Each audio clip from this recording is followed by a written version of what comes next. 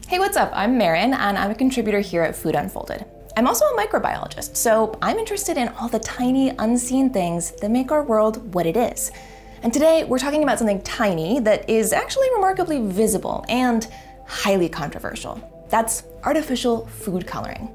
That means any compound that's been produced synthetically and added to a food product to alter its color and make it more visually pleasing. These artificial colorants fall under the umbrella of food additives. That's anything added to a food that isn't there for nutritional purposes. So maybe it's there to keep the food stable or make it look pretty.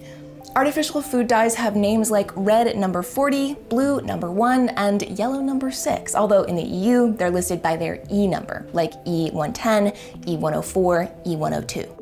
Originally, these colorants were derived from coal tar, but they're now synthesized from petroleum. And they're much easier and cheaper to mass produce compared to natural food colorants. They also have a longer shelf life, meaning they stay stable and vibrant longer than their natural alternatives. These food colorants do their job the way any pigment does. Their molecular structure allows them to absorb some wavelengths of light and not others. The wavelengths of light they don't absorb, that's the color that we see. But the big question is, are they safe to eat? And this is where it gets murky. Now, with all of what I'm about to say, keep in mind, because children are smaller, anything they consume is going to have an outsized effect on them compared to an adult. But several highly publicized studies have suggested a link between artificial food coloring and hyperactive behavior in some specific populations of children. But these studies were small and relatively flawed in some ways, so the research here is still quite tenuous, and most experts agree that there's not enough strong evidence yet to determine a causal link. Now, despite this, the EU and the UK still require that foods containing the food colorants that were tested in these studies carry a warning label that these additives may have an adverse effect on activity and attention in children. Many manufacturers have also removed the artificial coloring from their products, not because of safety data, but in response to a consumer desire for more natural products. Now, this in turn reinforces the idea that artificial colorants must be unhealthy if big companies are getting rid of them, even though that's not necessarily solidly backed by the science. But here's what we do know for sure. At least four artificial dyes are known to cause allergic reactions in a very small percentage of people. A few limited studies have also looked into the possible carcinogenic effects of synthetic food pigments. That's their ability to cause cancer. Now, this research has only been conducted in rodents so far, but in some of these studies, when animals were fed huge doses of certain artificial food colorings, they did develop tumors. Now, keep in mind, these doses are many times greater than the acceptable daily intake, or ADI, that has been approved for human consumption. But these studies certainly mean that further investigation is warranted. Now, some competing studies have investigated the levels of artificial food colorants that are consumed by the general population in the US, for example, and have found that the ADI fell well within the safety limits that have been put forward by the joint WHO FAO Committee on Food Additives.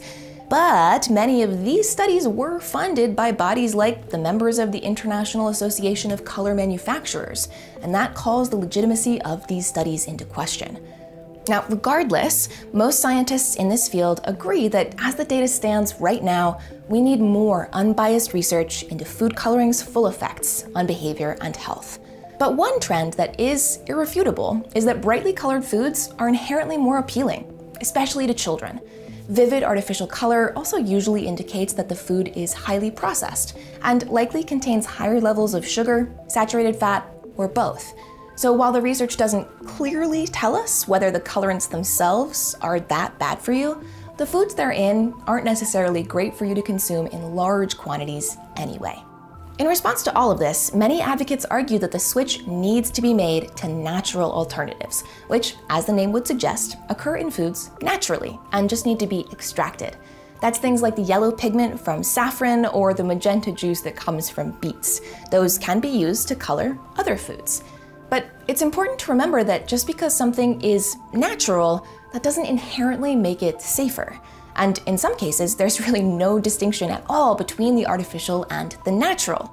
Beta carotene, for example, which is an orange pigment, is exactly the same whether it is derived from a carrot or synthesized in a lab. In fact, many natural colors are also known allergens. One popular natural colorant is made from the red pigment of crushed insect shells. It's called carmine, and it's known to be the biggest culprit of all of the natural colorants to cause severe allergic reactions. And there's even less research into these natural options than there is into their artificial counterparts, even though the scanty evidence we do have suggests that natural versions can also cause issues. So, if our understanding of these additives is still so in flux, the question remains why do we use them at all? They are only in foods for cosmetic purposes, to attract the consumer to buy the product. And every country in the world has its own set of regulations around which colorants are allowed. And that only adds to the confusion. Red 40, for example, is banned in many European countries, but it's still commonly used in the US. So, what if we as consumers continue to demand that companies and health agencies do more research and communicate those results clearly?